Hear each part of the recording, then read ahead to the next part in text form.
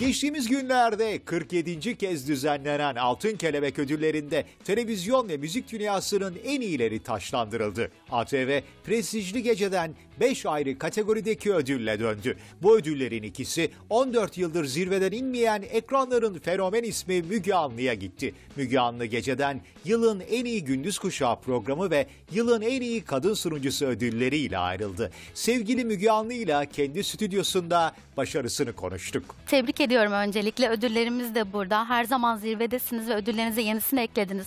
Neler hissediyorsunuz artık ödüllerinizi sayamıyorsunuzdur diye düşünüyorum. Çok teşekkür ediyorum tabii marifet e, iltifata tabidir demişler. Doğru E, her yeni ödül insanı daha da kamçılıyor, daha da motive ediyor ve ben de her ödülümü e, benimle beraber emeği geçen herkes adına alıyorum. Sadece ekip arkadaşlarım, çalışma arkadaşlarım değil bizi izleyen ve destekleyen milyonlarca kişi adına bu ödülleri alıyoruz. Mutlu oluyoruz elbette.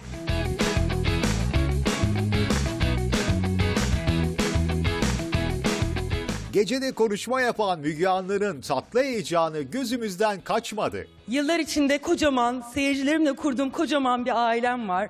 Ve ben kendimi çok şanslı hissediyorum. Her gün şükrediyorum. Ve geriye dönüp baktığımda iyi ki diyorum. İyi ki. Teşekkür ederim. Tebrik ediyoruz. Çok sağ olun. Ve sahnede ben sizi çok heyecanlı gördüm. Her ödülü aldığında ilk günkü gibi heyecanlanıyorsunuz. Öyle mi gerçekten? Öyle. Programa çıkarken de heyecanlanıyorum. Her gün yine aynı heyecanı yaşıyorum. Hmm. Yani belki de o heyecan seni diri tutuyor ve her gün e, motive ediyor. Yoksa hiç kolay iş değil yani. Dün yani ekip arkadaşlarımla beraber hiç uyumayanlar da var aramızda. Yani iki saat, üç saat uyuyanlar da var. Eğer o heyecanı yaşamasanız, o coşkuyu, o istikrarı tutturamazsanız... e, bu kadar uzun yıllar yapılabilecek bir iş olduğunu düşünmüyorum.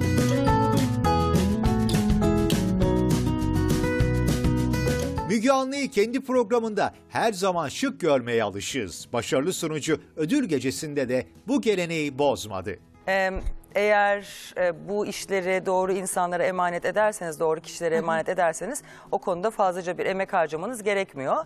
Benim zaten standart bir giyim tarzım olduğu için e, siz beğeniyorsanız teşekkür ederim. Ama sonuçta bu program için hangisi uygunsa ben de onu seçmeye çalışıyorum.